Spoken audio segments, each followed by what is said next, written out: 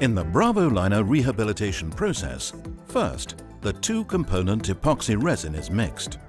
The seamless BRAWOLINER is filled with it and it is impregnated to the approximate wall thickness.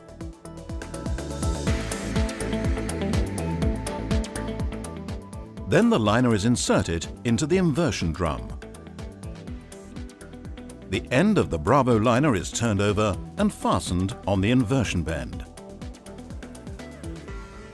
The BRAWOLINER method can also be used in confined conditions out of the cellar. By means of air or water pressure, the liner is inverted into the faulty pipe.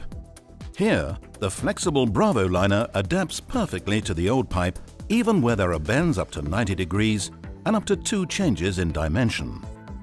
After the resin is cured, a completely new pipe is created in the old pipe. All existing and also potential damage is permanently removed.